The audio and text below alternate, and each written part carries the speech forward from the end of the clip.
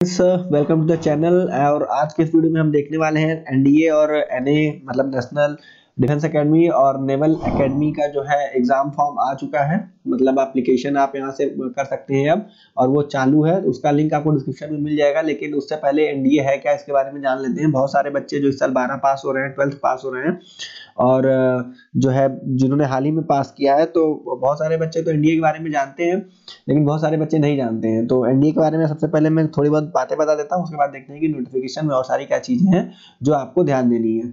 तो NDA national defence academy Poona में है, जहाँ पर आप अगर इस परीक्षा को क्वालिफाई करते हैं तो वहाँ पर आपको एक तरह से एडमिशन मिल जाता है और आप वहाँ पर तीन साल तक जो है अपनी पढ़ाई करते हैं बीएससी की और साथ में आप अपनी ट्रेनिंग भी करते हैं प्री लेवल की आर्म डिफेंस फोर्सेस में जाने के लिए। और अगर आप एनडीए में चले गए तो लगभग लगभग तय हो जाता है अगर आप सारी ट्रेनिंग्स को अच्छे से पूरा कर लेते हैं तो आप आर्मी नेवी या एयरफोर्स में अधिकारी बन जाएँगे। अगर आप आर्मी ज्वाइन करते हैं तो वहाँ पर आप लेफ्टिनेंट बन सकते हैं, अगर आप एयरफोर्स ज्वाइन करते हैं वहाँ फ्लाइंग ऑफिसर बन सकते हैं। इसी तरह आपको नेवी में भी है। तो वहाँ पर आपको ये देखिए ग्रुप ए की गस्टेड अधिकारियों वाली पोस्ट होती है। सैलरी बहुत ज़्यादा है। आईएस की सैलरी में उतने पे एंड पर्क्स नहीं होते जिसमें इतने मिलते हैं। हाँ सुविधाएँ उनको ज़्यादा मिलती हैं, उनको बंगला बड़ा मिलता है, उनको नौकर चाकर ज़्यादा मिलते हैं। लेकिन सैलरी अगर बात करते हैं आपको तो भत्ते जो है आपको जैसे पायलट है तो उड़ान भत्ता मिलता है। अगर आप समुद्र में है तो समुद्र में रहने का भत्ता मिलता है। आपकी पोस्ट याचिन हो गई तो बयालीस हज़ार उसका अलग से भत्ता मिलता है सैलरी में जोड़ करके। और खर्चा वहाँ पर आपका कुछ होता नहीं।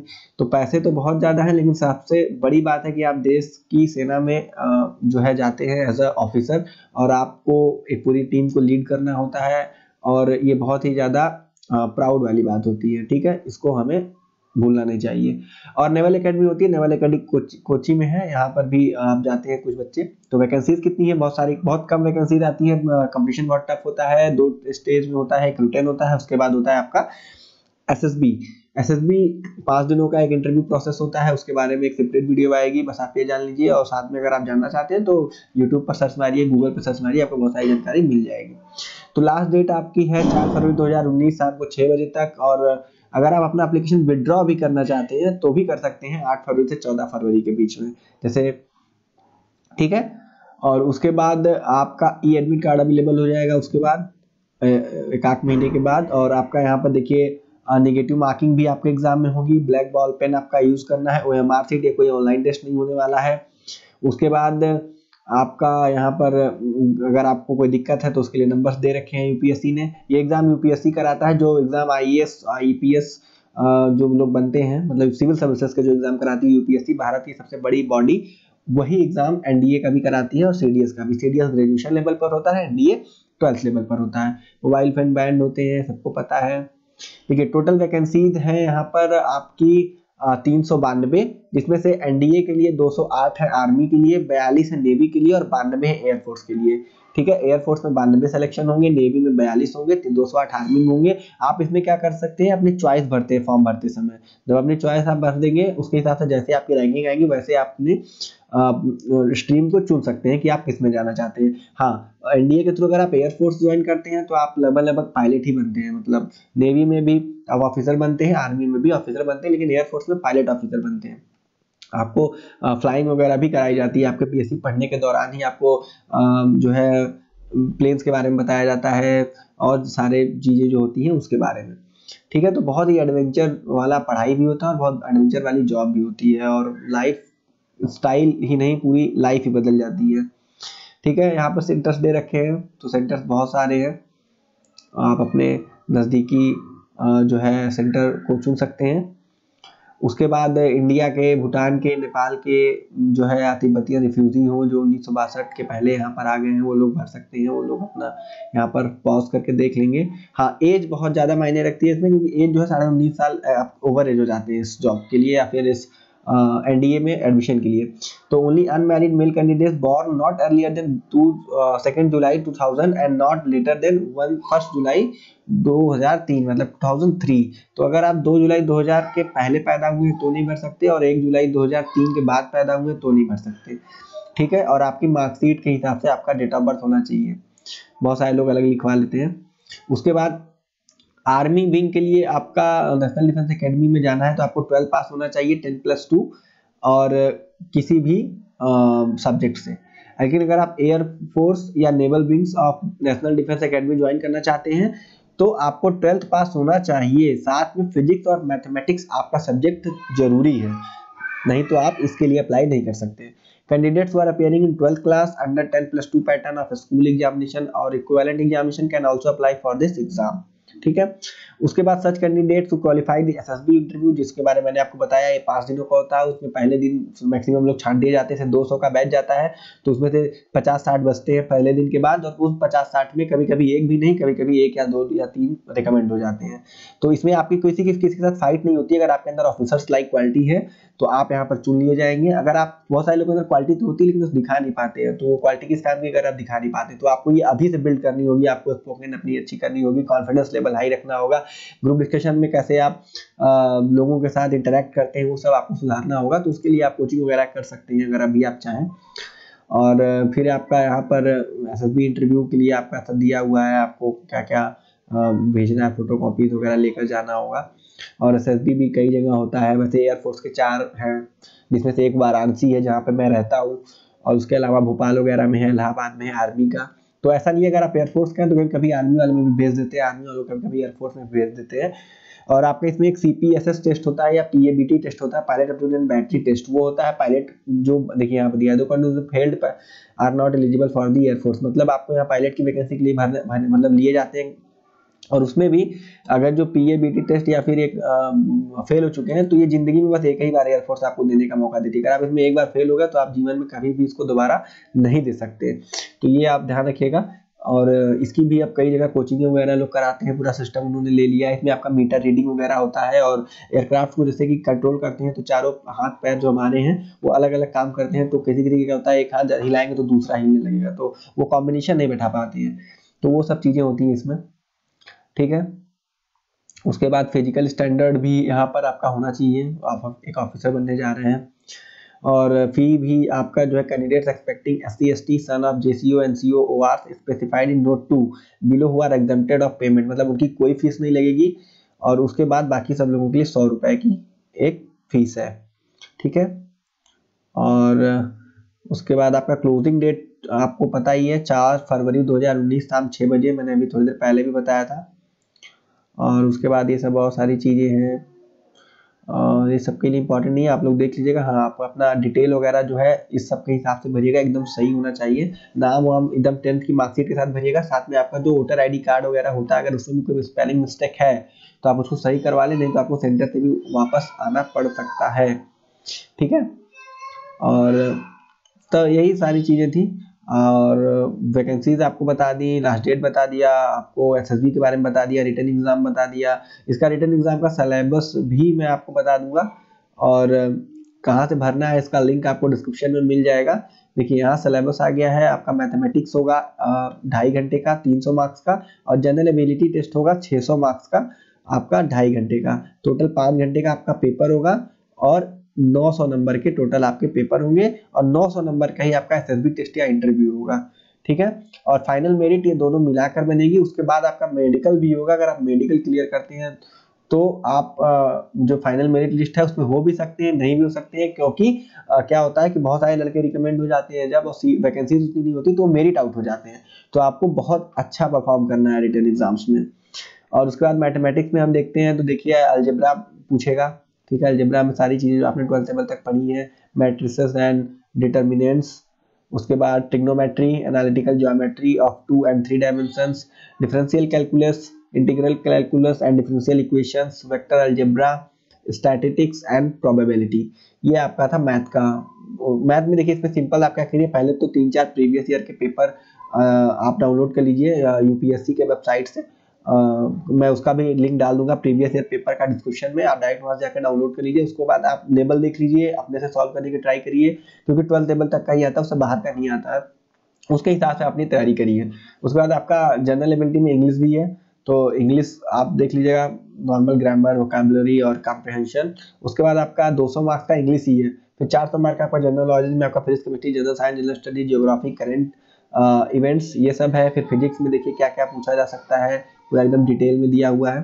केमिस्ट्री में, फिर आपका जनरल साइंस है हिस्ट्री फ्रीडम मूवमेंट आपका है। ये हिस्ट्री से हो गया, फिर जियोग्राफी है करेंट इवेंट्स है, और इंटेलिजेंस एंड पर्सनैलिटी टेस्ट है।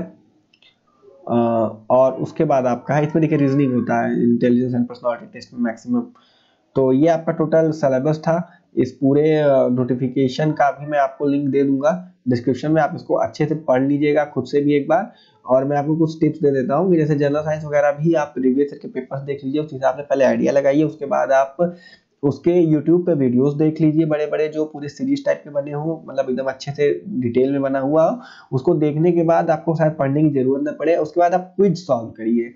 मतलब कुछ सॉल्व करिए मतलब प्रीवियस ईयर क्वेश्चंस को सॉल्व करिए कि आप क्वेश्चन लगा पा रहे हैं कि नहीं। जो एमसीक्यू बेस्ड बुक्स आती हैं लूसेंट वगैरह की, आप वो खरीदिए, उसको लगाइए। तो उससे क्या होगा कि आप एग्ज़ाम में परफॉर्म अच्छा करेंगे। बहुत सारे लोग क्या होते हैं, इतिहास की किताब उठाई पूरी इतिहास पढ़ गए और आगे पढ़ते गए, पीछे भूलते गए और जब उनके सामने क्वेश्चन आता है तो कंफ्यूज हो जाते हैं क्योंकि उन्होंने क्वेश्चन नहीं सॉल्व किए होते हैं।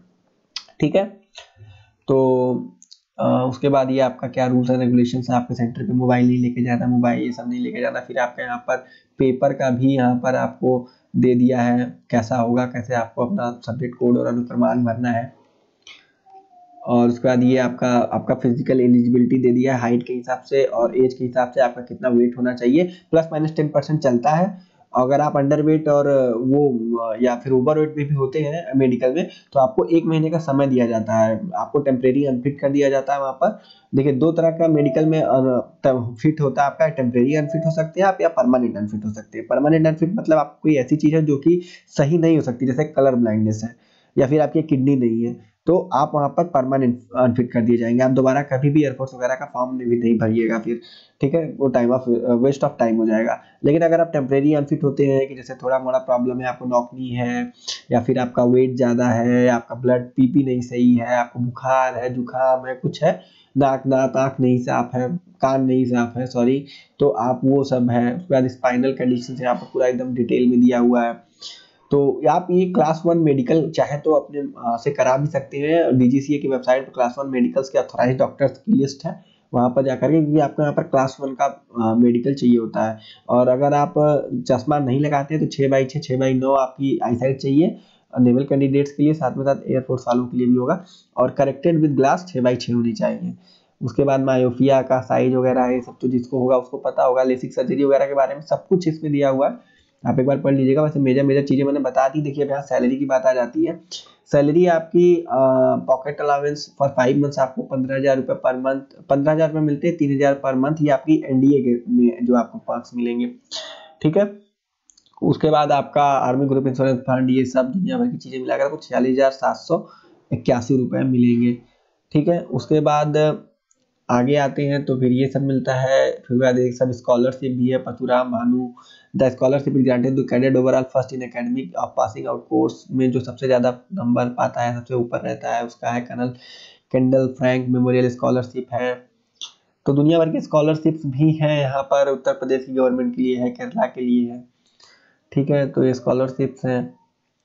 उसके बाद सारे स्टेट के हिसाब से बहुत सारे स्कॉलरशिप्स हैं, जैसे कि उसके बाद आपकी ट्रेनिंग में देखिए आर्मी कैंडिडेट बी ए या बी एस सी कंप्यूटर करते हैं या बी ए करते हैं नेवल कैंडिडेट बीटेक की डिग्री पाते हैं एयरफोर्स के कैंडिडेट भी बीटेक डिग्री पाते हैं। और ये तीन साल की होती है लगभग। All candidates undergo B A basic computer science B degree programme shall be awarded degree on the successful completion of academic physics and service training at NDA all the candidates undergoing BTech programme shall be awarded the BTech degree on the subsequent to commissioning training academic institute या ships या aircraft ठीक है? उसके बाद आपको जो है, जब आपके इंडिया की ट्रेनिंग पूरी हो जाती है तो आपको, जैसे अगर आपका एयरफोर्स है तो आप एयरफोर्स अकेडमी हैदराबाद भेज जाते हैं और आप वहाँ पर जो सी वगैरह या एफकेट वगैरह के थ्रू आते हैं, उनसे आप एक स्टेज आगे होते हैं। जो ग्राउंड ट्रेनिंग उनको छः महीने करनी होती है, आप वो नहीं करते हैं। डायरेक्ट आप एडवांस ट्रेनिंग फ्लाइंग वगैरह सीखते हैं। तो ये बेनिफिट होता है। और जो एनडीए के थ्रू ऑफिसर बनते हैं, उनके लिए सबसे ज़्यादा स्कोप होता है डिफेंस फोर्सेज में। सबसे ऊपर हायरार्की जो होती है प्रमोशन की, उसमें आप टॉप नॉच पोस्ट जो होती है, जैसे जनरल की पोस्ट है, उसके बाद एयर मार्शल की पोस्ट है, और वो एडमिरल की पोस्ट है तो वहाँ तक आप जा सकते हैं। फिर आपका fix stop stipend for cadet training फिर ट्रेनिंग के समय आपको देखिए ये मिलता है छप्पन हज़ार सौ रुपये उसके बाद आपका देखिए यहाँ पर स्केल कैसे दिया हुआ है, बाकी सब। और सबसे ज़्यादा जब आप चीफ ऑफ़ आर्मी स्टाफ बन जाते हैं तो ढाई लाख रुपए फिक्स्ड आपको सैलरी मिलती है। ठीक है, बताइए, इतनी ज़्यादा सैलरी मिलती है। और यहाँ छप्पन हज़ार तो ये आपका वो बेसिक पे होता है। इसके बाद आपको अलाउंसेस मिलते हैं ढेर सारे, जिसमें आपका महँगाई भत्ता होता है फिर उड़ान भत्ता होगा। आपको, आपके वर्दी मेंटेन करने के लिए मिलेगा। हर चीज़ के लिए मतलब बहुत सारे अलाउंस हैं, वो आपको मिलेंगे। ठीक है, आपका इंश्योरेंस वगैरह हो जाता है। देखिए ये आपका रिस्क एंड हार्डशिप मैट्रिक्स आपको पच्चीस हज़ार पर मंथ अगर आप रिस्क की जगह में या फिर हजार्डस प्लेस में जैसे कि आपको कुपवाड़ा के जंगलों में भेज दिया गया तो वहाँ पर आपको मिलेगा डी सलामी जो मिलता है, मिलेगा किट अलाउंस देखिए बीस हज़ार रुपये पर मंथ आपको सिर्फ़ अपनी यूनिफॉर्म को मेनटेन रखने के लिए मिलेगा। तो बहुत सारी चीज़ें हैं, बहुत ही अच्छा चांस है अगर आप सबसे कम उम्र में अगर सबसे सफल ज़्यादा व्यक्ति कोई होता है तो वो होता है जो व्यक्ति एनडीए में चला गया, मेरे हिसाब से तो। ठीक है? तो अभी तो बहुत कुछ इस नोटिफिकेशन में है, लेकिन वो सब अब हम नहीं देखेंगे उतना। और ये आपका देखिए दिया हुआ है कब आपका प्रमोशन होता है। फ्लाइंग ऑफिसर से दो ईयर बाद आप फ्लाइंग लेफ्टिनेंट बन जाते हैं छः ईयर बाद आप स्क्वाडर लीडर बन जाते हैं, तेरह साल बाद आप विंग कमांडर बन जाते हैं। उसके बाद जो है ग्रुप कैप्टन बनते हैं, वो सिलेक्शन पे बेस्ड होता है। उसके बाद आप ग्रुप कैप्टन टाइम स्केल अगर आप नहीं बन पाए सिलेक्शन बेस पे तो 26 साल जब आपकी पूरी हो जाएँगे सर्विस तब बनेंगे। उसके बाद air commodore air vice marshal air marshal और एयर चीफ मार्शल ये सब आपके सिलेक्शन बेस्ड होते हैं, क्योंकि सब नहीं बन सकते। अंत में एक ही को एयर चीफ मार्शल बनना है, लेकिन आपके साथ बानवे लड़के एक साथ घुसते हैं, जो कि आपके टाइम के होंगे। ठीक है? तो बहुत सारी डिटेल दी हुई है जो है, इसके नोटिफिकेशन में इतनी डिटेल नोटिफिकेशन जल्दी देखने को नहीं मिलती है।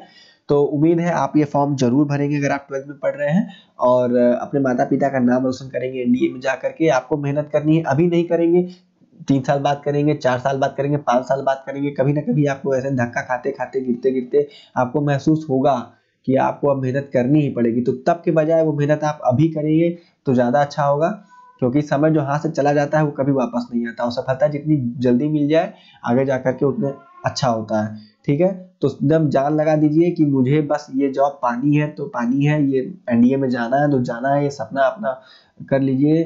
विवेकानंद जी ने कहा था, उठो, जागो लक्ष्य प्राप्ति तक रुको मत। ठीक है? क्योंकि मैंने मैं वो चीज़ फेस कर चुका है इसलिए मैं आपको बता रहा हूँ। मैंने भी ट्वेल्थ के बाद एयरफोर्स का फॉर्म भरा था एनडीए का। और मेरा सपना था कि मैं पायलट बनूँ, लेकिन मुझे लगता था कि बारह के बाद क्या, ट्वेल्थ के बाद क्या पायलट बनेंगे। पायलट को तो बहुत पढ़ना पड़ता होगा तब पायलट बनते होंगे। और मैं इसी चक्कर में मैं ज़्यादा पढ़ता रहता घूमता रहता था उधर मैच वैच खेलता रहता था। और वह फॉर्म भरा एग्ज़ाम दिया, निकला ही नहीं क्योंकि पढ़ा भी नहीं था। बट अब जा कर के पढ़ाई कर रहा हूँ कि अब मेहनत कर रहा हूँ कि अब कुछ निकले।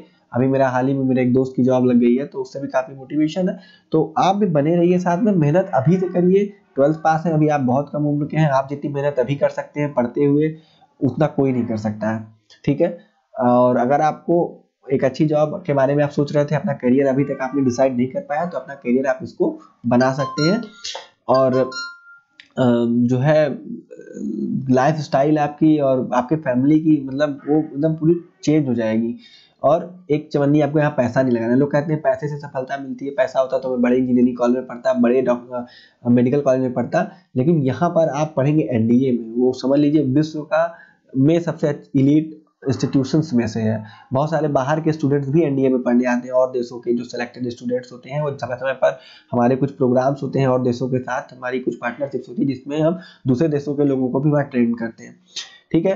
तो बहुत ज़्यादा मैंने आपको मोटिवेट करने की कोशिश की है, शायद उतना अच्छा नहीं कर पाया हूँ, लेकिन कैसा किया आप लोग कमेंट बॉक्स में बताएगा कोई भी कंफ्यूजन इस जॉब से रिलेटेड हो, आप मुझे कमेंट कर सकते हैं, जो कि मैं जो दे चुका हूँ। और मैंने N D C D S और एफ़ कैड भी दिया तो मुझे नॉलेज है थोड़ी बहुत, मैं आपकी हेल्प कर सकता हूँ। तो जितना कर पाऊँगा, करूँगा, नहीं करूँगा मुझे पता हुआ तो मैं पता करके आपको बताऊँगा। आप लोग बने रहिए, अगर आपको समय समय पर जो भी जानकारी चाहिएगा कमेंट बॉक्स में पूछेगा, और चैनल सब्सक्राइब कर लीजिए आप, ताकि आपको आने वाले अपडेट्स मिल जाए, और आप बेल आइकन भी प्रेस कर दीजिएगा। थैंक यू धन्यवाद भाई जय जय हिंद।